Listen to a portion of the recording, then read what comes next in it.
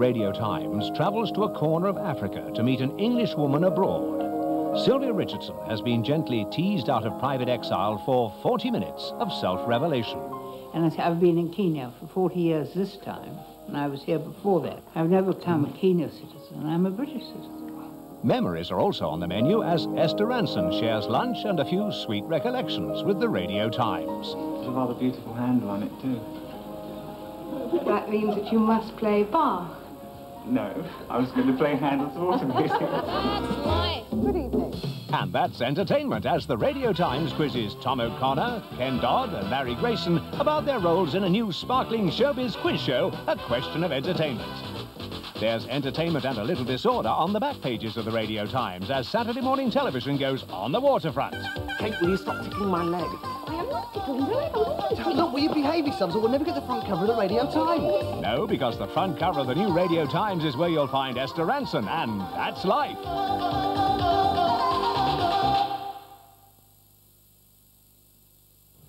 Now on BBC One, the man in the middle of today's lively debate, Kilroy.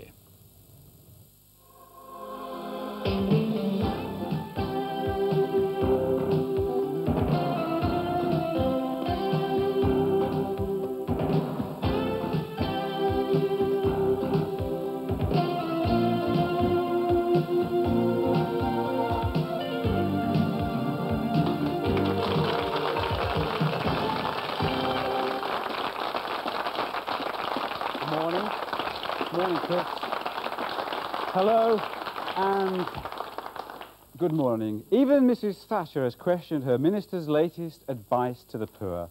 It appears in this leaflet and it advises claimants not to shop when they're hungry in case they spend more and to try putting a blanket or even tin foil over their mattress in order to keep warm.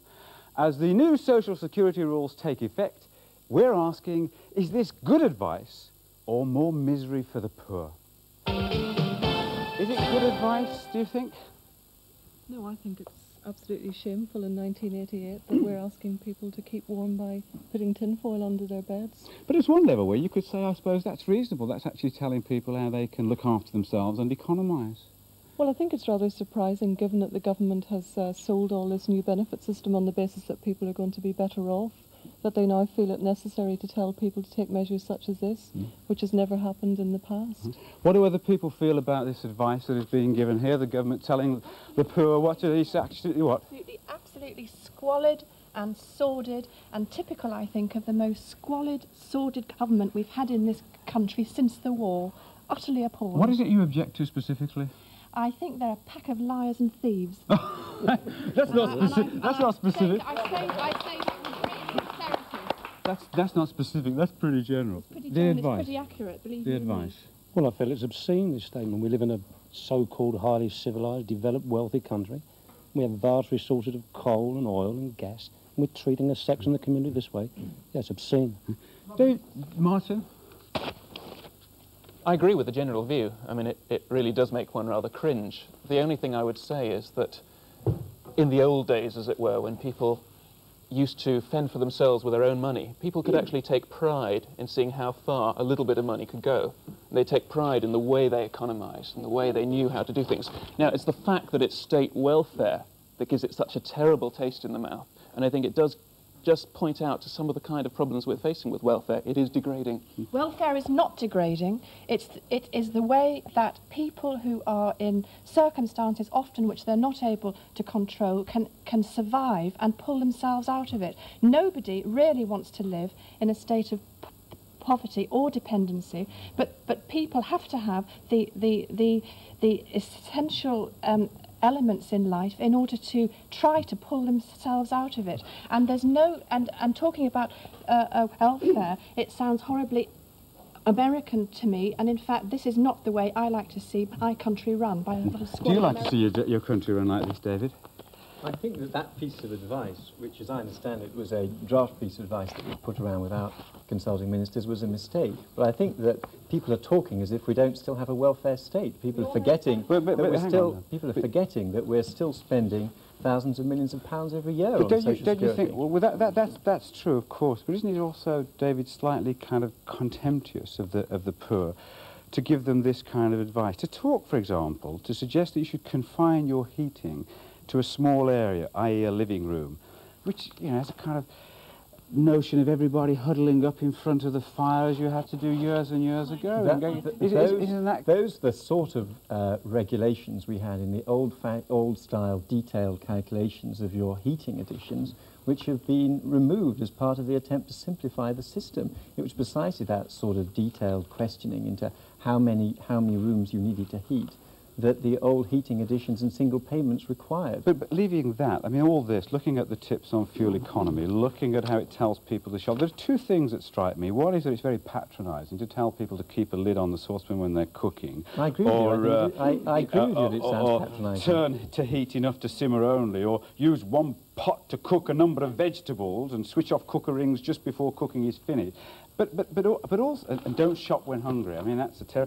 But also, it's just things like what you're spending on sweets, cakes, biscuits, pud- puddings, jams. All these give you little nutritional value. Don't you have jam and I puddings think and that sweets? I, I think that it's easy to mock that sort of thing, and I agree with you that it's distasteful. But the one thing I would add is it was probably well intentioned. It was actually intended to help. You're in danger of... Listen, tell me something. What did Mrs. Thatcher, what has she done with the two billion she saved on the budget last year? What has she done David, with hang on, that? hang on. Giving it to a third world country, more than likely. Charity begins at home. The, the total social security budget is going up towards 50,000 million pounds a year. The overseas, the over, well, I was asked a question about figures. It's fair to re- reply in terms of figures. The overseas aid budget is something like 1,000 million pounds a year and rising. A lot of people say that we ought to spend more on overseas aid. Do they? Doran, you, we've got one example here, haven't we, Doran? You were on the this Linda, programme. yes. Uh, sorry, Linda. Doran is your son. He is indeed. Um, several weeks ago, when we talked about him and how you've helped him overcome his handicap. Now, you've had, or you were threatened with the removal of your benefit, the benefit that you received from. Can you tell me briefly what happened to you? I have two community service volunteers who have for years now been helping on a highly successful rehabilitation program for Doran. They've saved the state and we've saved the state hundreds of thousands of mm. pounds. Now, government departments don't refer to one another. The Social Security is not interested in the hundreds of thousands of pounds I've mm. saved the education service or the health But what service. happened? I went on to the BBC Sussex Radio talking about my book, The Other Child, which describes how my daughter helped my son and how well my son is doing. A social security officer came to my house. He behaved extremely intimidatingly, but said he was only filling in a routine form. When he had gone, he had left his notes. In the notes, it said that uh, an official on holiday had listened to this program, and that since Dawn was doing so well, and since my daughter was now helping and had provided so much motivation, and since I'd found the time to write two books in five years, the second book uh, of which I, I declare my royalties and they're docketed from my social security, which they know, and the first book is uh, in, in a trust Right. which pays my son's But you were education. going to lose your... Yes, that they, I was going to lose my. Well, it didn't tell me precisely that I was going to lose my benefit immediately. The following Monday, I received a brief note telling me to return my book, my full benefit, not only the allowance for my volunteers, all Doran's allowances, and, and my allowance. So I was left with no money for a, a week, with two volunteers to, to pay, my two children to pay, and myself, and no money whatsoever. David, uh, Professor, is that the kind of society we want to create where civil servants listening to the radio, hear what someone say, go round, knock on their door, remove their benefits while their case is looked at? No, of course it's not, but nor is that a fair question. You've got a big... Well, I think... Well, It is a fair question. It's what happened. It's what happened. Can I have a go? Of course you can have a go, but you can't tell me it's not a fair question, because then I have to have a go. I'll start by saying it's not a fair question. It's not a fair question because if you're going to have a big welfare state, if all these people are going to sing out in favour of it, if it's going to expand even under a government which is allegedly trying to help people back towards self-reliance, then you'll get mistakes like this. You'll have a machine like this. It shouldn't be there and it shouldn't happen. On the other hand, I wouldn't be as apologetic about the other thing. We would need good advice to people. Good advice. You're on a good income.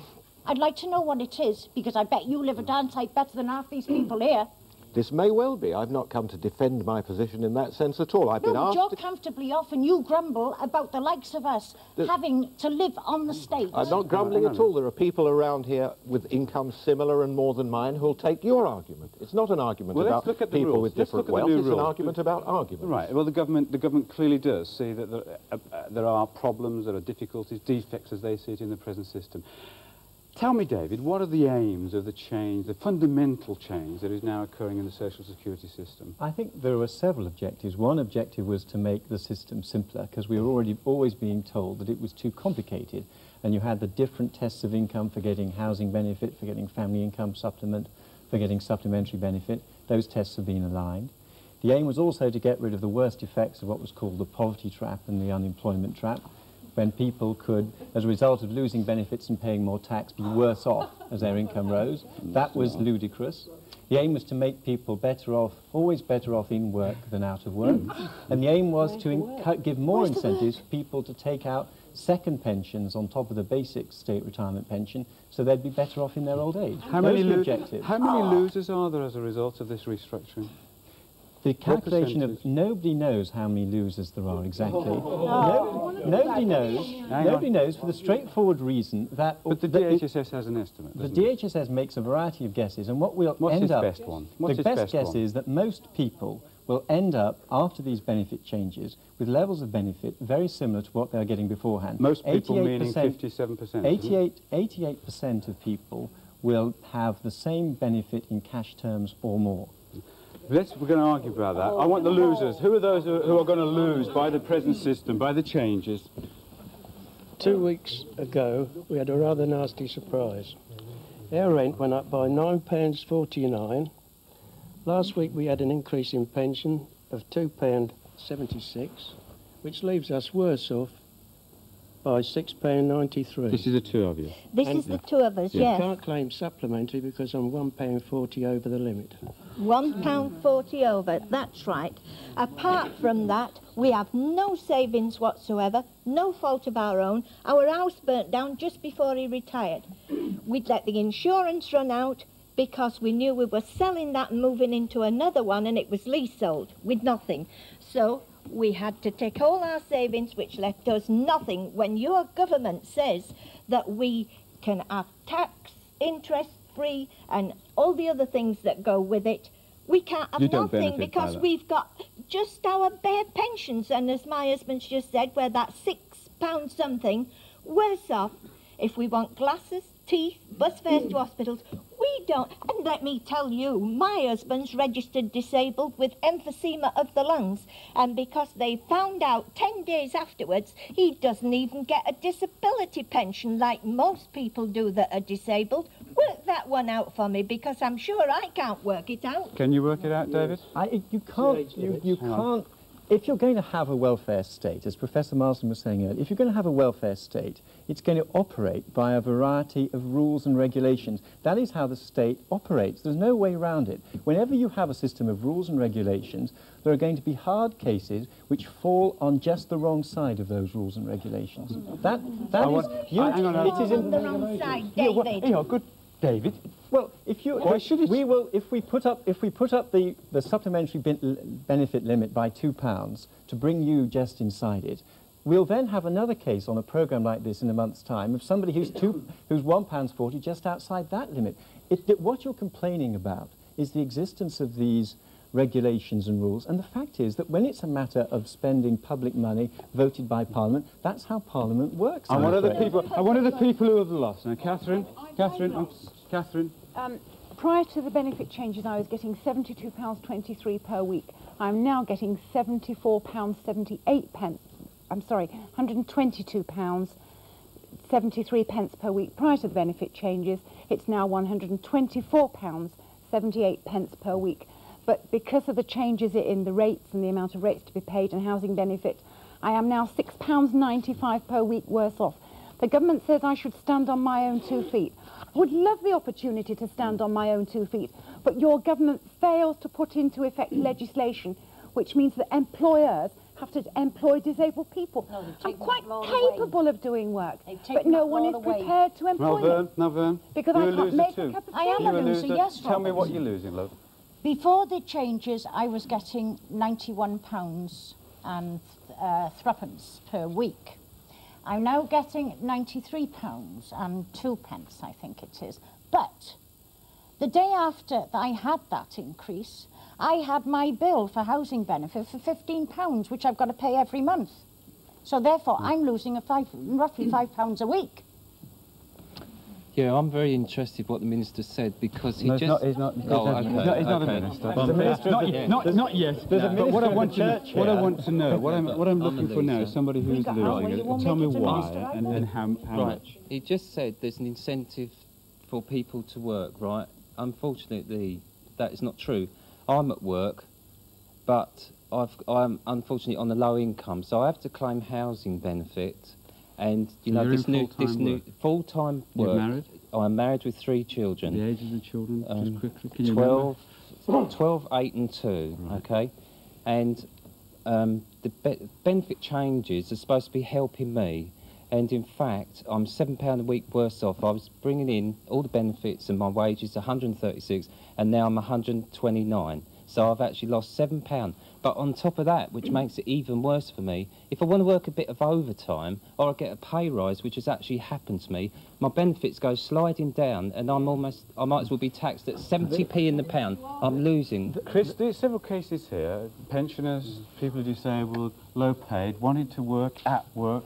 Are these typical of want to work? Yeah. I want uh, to work, that's why I'm there. Right. I was what- on the dole. For, sorry, It's I was on the dole for two years, and I hated it. And I took a job Good where my you. where my wages, my take-home pay was less than what I had on the dole. But what have I So. Chris, are these hmm. cases typical or, Well, or, or are they exceptional? No, I mean, I think if we were to believe the government and David Willetts in terms of the number of people who've lost through the changes, all of them must be in this studio this morning because the government claims that very few people have lost. Hmm. David Willetts wouldn't answer your question. He knows very well the government itself estimates that about 4 million people will be worse off as a result of the, mm-hmm. of the changes than if the system had remained as it was. It may be uh, 57% worse off, it may be 12% worse off. The fact is that in a prosperous society like ours, mm-hmm. no one on these levels of income should be worse off, especially when the government has just given £2,000 million pound away in tax cuts to the very mm-hmm. richest 3%. And that's what... Can I, if we have a well-designed and efficient benefit system, it should be possible by spending 50,000 million pounds, that's one pound for every 10 pound that we as a nation produce, to alleviate all the worst problems of poverty. I mean, the amount of money that we spend on social security carries on rising. It's been rising decade more after people are decade. unemployed, David. Yeah, You don't yeah. understand that. More people are unemployed, there are more pensioners, of course we're spending more on social security. But it's, it's, it's risen, no, but it's risen not just for that reason. It's risen because benefits rates Benefit are higher. levels have fallen, David. you know that the- very well, uh, and the we- people sitting here know it very well. They have to live Let on me, let me, I want to bring, bring someone else into our conversation. Um, well, I think there's a contradiction in what the government is saying. On the one hand, that gentleman over, over there says it's uh, going to benefit the people, the Social Security Benefit Act. But on the next hand, the government are saying that people should go without food and should sort of cut down on the electricity bills and the gas bills. So obviously, there's a contradiction. Now, I don't know how that gentleman can sit over there, right, like this lady said over here, with a well-paid job, and I can argue that there is not going to there, there is not going to be any people that are going to be disadvantaged from this new Social Security benefit. What do other people feel about the changes that we've heard and, and the examples that we've just been given? What do you feel about the changes and the... Does anybody have views on what we've been talking about? Well, yeah, I mean, we, I work in an advice centre in Lambeth, and certainly the number of people that have come into us before the changes actually took place was absolutely phenomenal. People who are trying to keep their benefit the same, which is what's happening under the new regulations. At best, people will get what's called transitional protection, and at best, they'll have the same money this year as they had last, which will go on for the next few years. So each year, they're going to have less money in real terms to live on.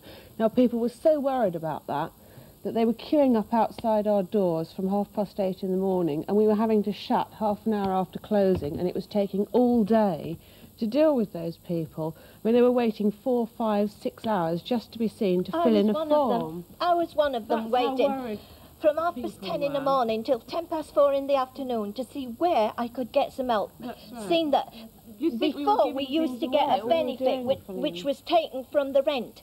But because he doesn't get a disability allowance or a hmm. mobility allowance, it's finished. It's gone off the rent. Okay. My rent's gone sky high. It's gone up. We're I think the off. point is that with that this transitional protection at best keeps money the same, and out of that same money, people now have to pay The things like transitional water rates. protection means that It- at the moment, a- those who are in going other to words- eventually lose are going to have it protected at least It for the means time that their money before April the 11th will be the same as it was after April the 11th. What they don't Okay. point out is that out of that same money, they have to now pay water rates, which they never had to pay before, and 20% of their general. I want rates. people's attitudes, the reaction to the the losers' stories we've heard so far. I just wanted to ask the gentleman in the front what he meant by David, uh, David, David? yeah, Oh, yeah. David. Okay. I just wanted to ask what you meant by a well-designed system. Well, I meant a system that was simpler, that was easier to administer. For who? That was simpler, that was... Hang on, hang on. He's answering the question. That was David. simpler for the people, hard-pressed officials in social security offices to administer, that was easier for people claiming benefit to understand, that met its purposes of helping people in greatest need without all the complications and the complexities we had in the old system. And can I make one other point, that on, on this prote- transitional protection, that in, in the old days, when we used to have inflation at 20% or 25%, by the end of the year, people's incomes from benefits had fallen by a quarter because prices had risen so much. When you have lower rates of inflation, that means that people are not losing out because their benefits are retaining their value. Uh, what are the other reactions, quickly? You have a plethora of complainants here. Everybody complaining that they're not getting what they're entitled to. And honestly, there's very few people in here who know anything about poverty at all. You've got to be over 65 to know what poverty was oh, and brought up oh, in the, in the oh, slums of London. I don't I think, and the hey, I bishop. tell you, I don't think you're right there. Oh. I know a bit about poverty, You and I'm not 65, and I was and brought up in the slums. like. I don't think. I want to know, but I want to know: is there anybody else here who knows about poverty? Anybody else? Look at their hands. Yes, love. Come on, tell me about it, love.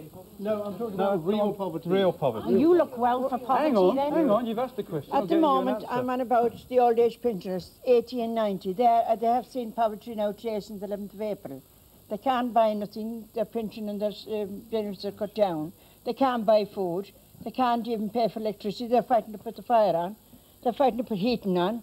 And when you go in, they're sitting in the cold. They're tied up in uh, blankets and things like that, and they're 90 years of age. And she's, uh, why should it strike the old age pensioners? And the disabled people, and the children of schools, mean. Why should it, David? We Why are should it, old age Professor? Why should? Why should? Are these cuts necessary? I think they're necessary and, and helpful.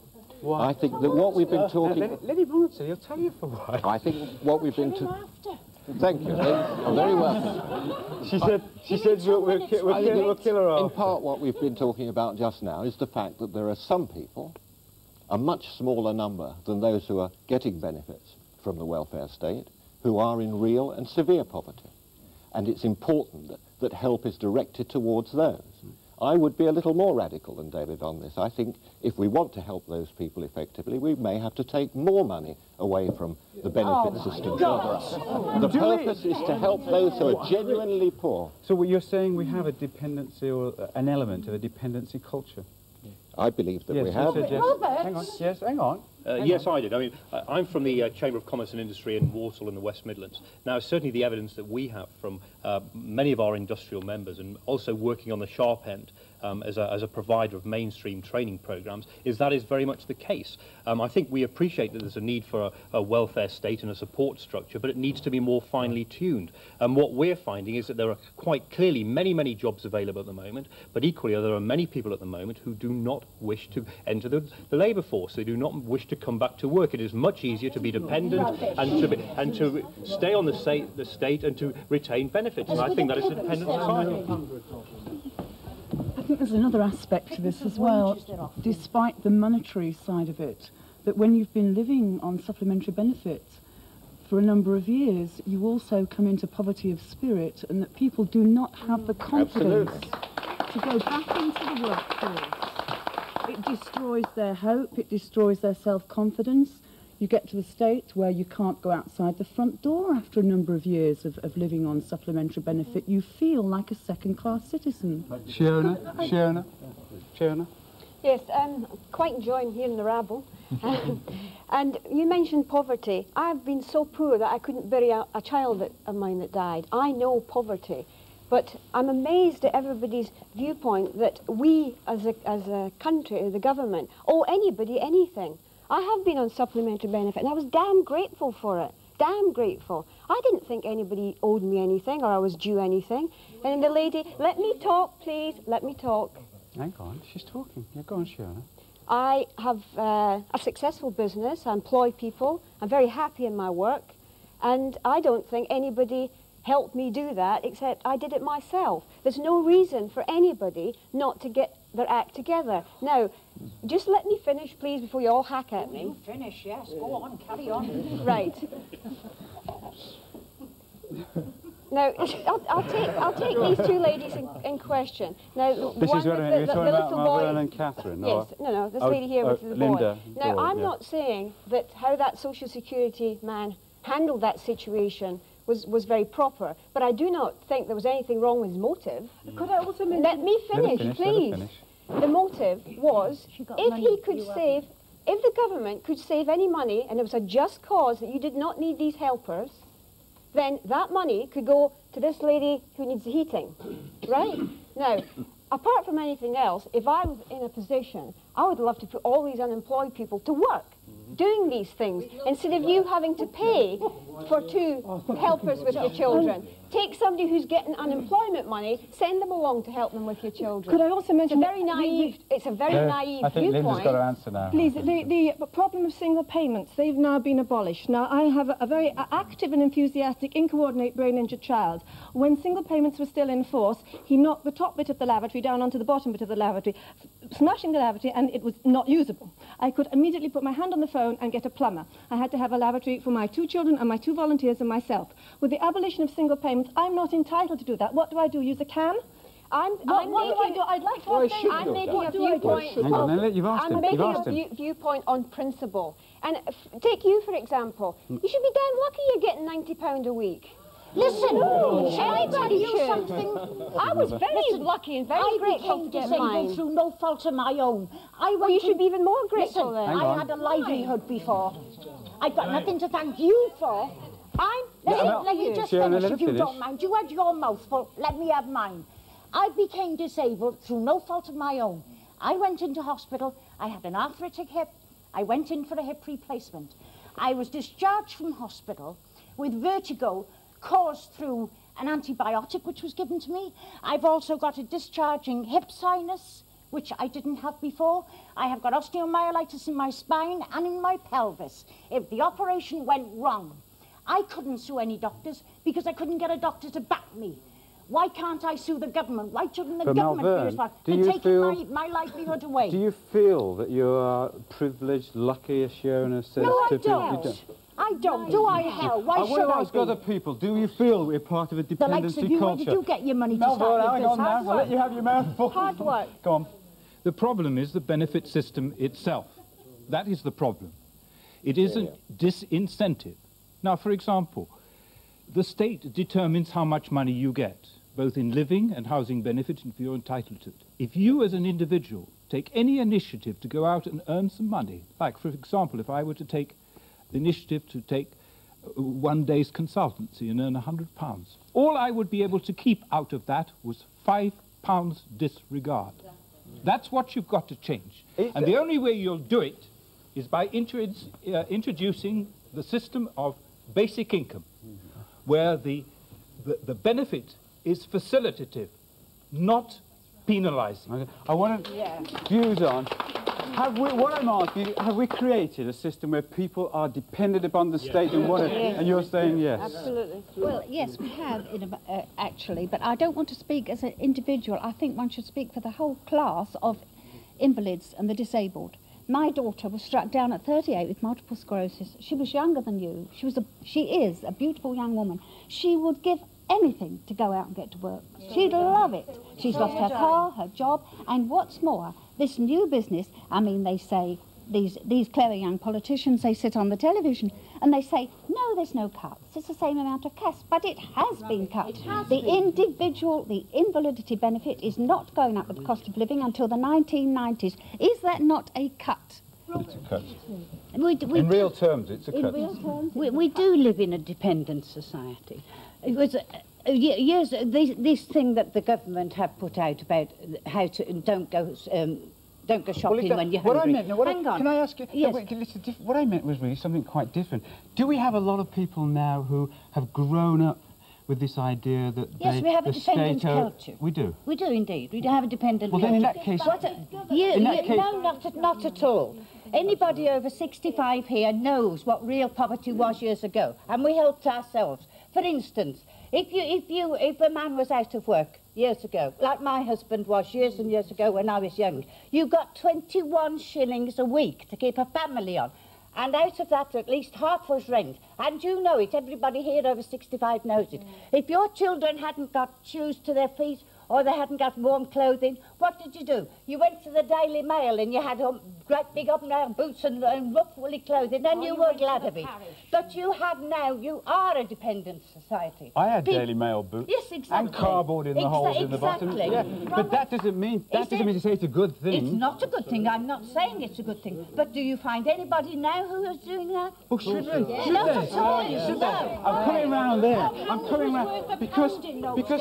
I don't, are we are you actually saying we want that? We want to go back want to that. Daily Mail We- boots no, and charities No, of and course putting we don't cardboard want, in your We shoes? don't want to do that. But this, this pamphlet that the government have put out now about uh, putting a, um, tinfoil under your bed, etc., and putting the lids on saucepans, it's what every prudent housewife has been doing for years and years and years.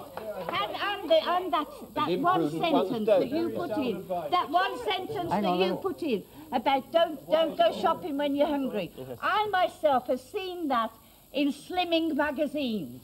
It is, it is basic advice to people who are, are on diet. Okay. Oh, but you want to go Uh, on, uh, diet, go on the social security. Yeah. Why do you say that? What do you mean? What do you mean? Because you I mean? can't afford to eat half the time. I've gone hungry. I've got holes in my Wellington boots that I can't afford to have repaired. So it's not going back to the 1940s No, it's 50s here now. I've boots. suffered it. I can't afford to have the heating on half the time in winter. I've finished up with arthritis in my spine. I know I look all right. I look well dressed. It's because of the way I economise. In winter, I use all my money for my heating and lighting. And what I save in summer, I go out and I go to a shop and I say, Will you save me that dress or that coat? And I will pay you X amount each week, and I have to do without. I want to work, but like that man said over there, if you try to earn more than five pound a week, it's taken off you. That's under sixty. If I was turned sixty, I could go out and earn fifty pound and not have to declare a halfpenny. God bless the pensioners. I agree with them. They need every halfpenny. Okay, okay. This is your poor. This is your poor. Well, I'm poor too. We are pensioners. I only have a pension. I go to work once a week. Luckily, my employer pays me for that one day, and I do not have supplementary benefit. I haven't had any new clothes for years. But you see, This if is I- the last just a minute, I'm talking. Hang on, hang on. There's no God need to. heavens. Hey, hang on. You don't have to take that No. attitude with the lady. Why not? We're all getting a bit overexcited, but we don't have to. I'm fairly well Come on, dressed. come on, Let him finish. Let him finish. Yes, I, I get my clothes from jumble sales, and always have. I know, let's leave it there. Uh, Chris, Chris, Chris, we're talking about a dependency cult. We're talking about a dependency culture, and whether or not uh, uh, people are now encouraged, for whatever reason, to become dependent upon the state. But do we also have, as, as, as seems to be evidenced by what certain people have said, a growth in the number of the poor? Oh yes, very clearly. On the government's own figures, the numbers of poor have increased by about 50%. And we're talking about 16 million people now living in poverty or on its margins. And I do mean for many of those people very real poverty, as we've, we've heard here. Not sufficient to heat their homes, not sufficient for proper clothing for the children. And I'll tell you what creates dependency, Robert. It's actually having a situation where people who want to work do not have the jobs. It's for people like Raymond, who works very hard in a job for low wages and is forced to depend on family credit on a top-up.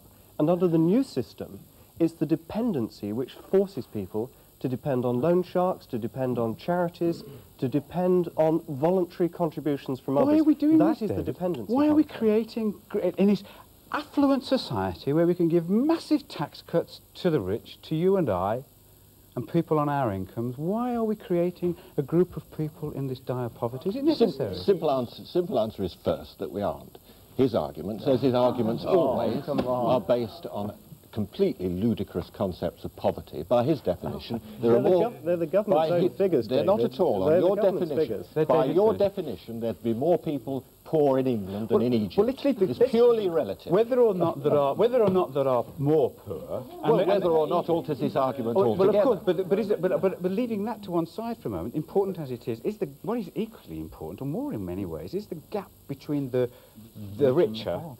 Or the more affluent, and the poor widen. Well, that's, that, that's your view, and you're I'm entitled not- no, to I'm it. asking you a question. No, no, you said what's more important. Now, it's Well, is- different is- from is there a poverty. gap? It's different. Of course, there's always a gap. Is it except widening? in a communist egalitarian is it, society. Is it widening? Is it widening? It's, is it wide? It is Hang not on, widening. Hang on. It's, not, not, widening. And the fact is that the assumption here is, a, is an egalitarian assumption which would create more poor. about what we need is an It's about assumption fairness. What which sort is of always society? controlled. What sort of society do we want to live in? Robert.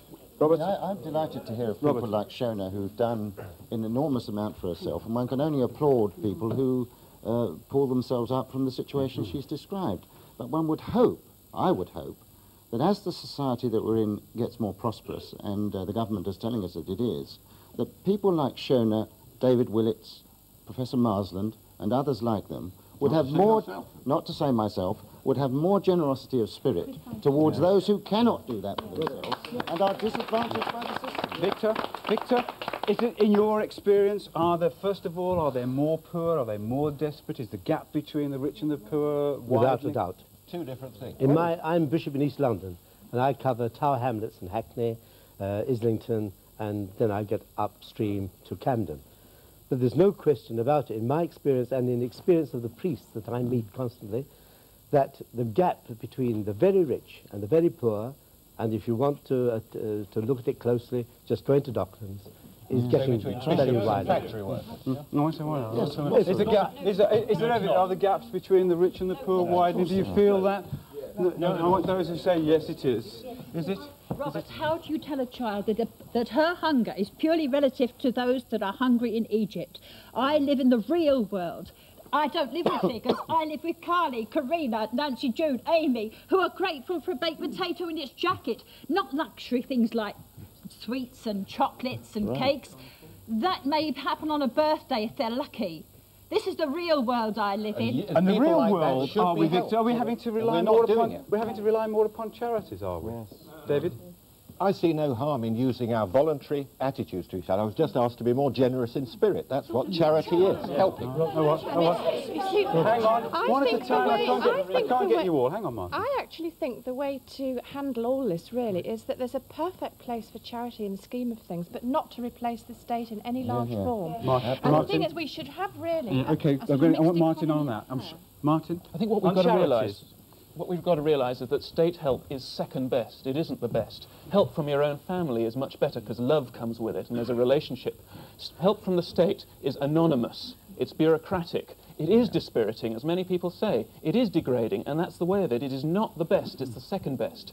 And that is why I believe the government is trying to do something about what they call the dependency trap. You can give it another name if you like. We've heard from many people that if you try and take a do- job, you only keep the first five pounds and the rest is docked. Now, that is a serious problem, and the government has tried to address itself to that problem to make sure that you can take home something of your earnings if you, if you earn rather than stay on, the on Chris, what should, we do, what should we be doing on, about I'll just finish. What should, no, I, I, I'm short of time, Chris. What should we be doing? The real question is what sort of society do we want to live in? If we want to live, if we want to live in a society of private affluence and public squalor, one in which greed is considered to be the most favourable motivation, then maybe what David Willetts and some of the others representing the government are saying is where we should be going. I think we need a fairer society. We should have a society in which our children do not go hungry, in which our pensioners do not go cold, and where people have an adequate income, dignity and independence. We're a long way from that and we're getting further from it. There's a long way to go to get towards it. You remember Paul, the man who had the problems with his back, and we had the faith healer to try to deal with him. What, yo, yes, he's saying, well, he's not any better, I'm afraid, but at least he's not any worse either. Paul Have a good weekend, and the rest of you too. Take care of yourselves. See you on Monday.